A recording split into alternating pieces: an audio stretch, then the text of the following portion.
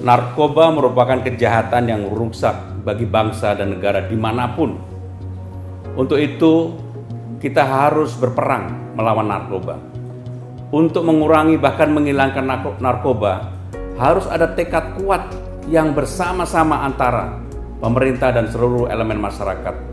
Karena dampak dari narkoba sudah kita rasakan begitu menghancurkan bagi siapa pun, bagi keluarga, bagi bangsa, bagi negara.